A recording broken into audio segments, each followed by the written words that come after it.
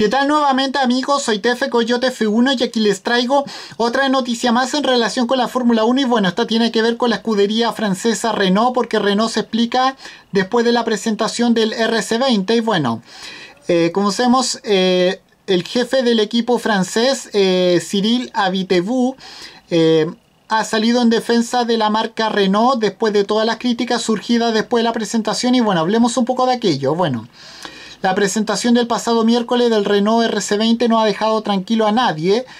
Eh, muchas han sido las voces de discordia eh, tras, eh, tras enseñar unos breves bocetos del monoplaza en los que apenas se observan unos detalles, unos pocos detalles del mismo creados por, por computador y bueno.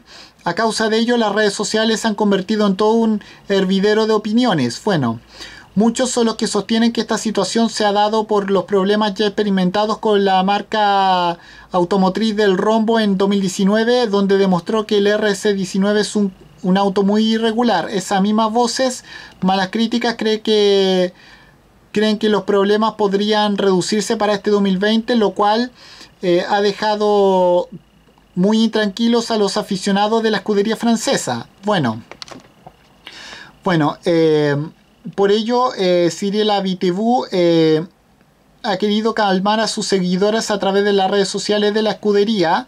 Y bueno, en los años anteriores presentamos una autodemostración alterando su apariencia a cómo debería ser el auto de la temporada. Pero hay un problema en hacer eso. Nadie es capaz de presentar un auto actual, un coche actual.